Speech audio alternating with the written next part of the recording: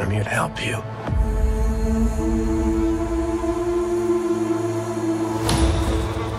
Do you think that you created Stephen to hide from all of the awful things you've done?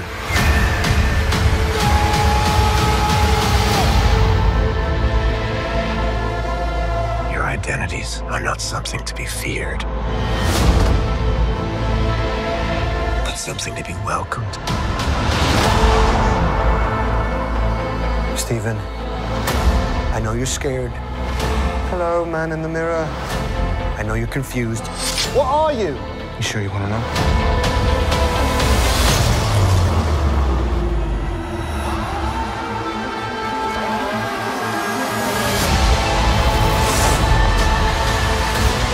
I promise I will repay my debt for all the things I've done.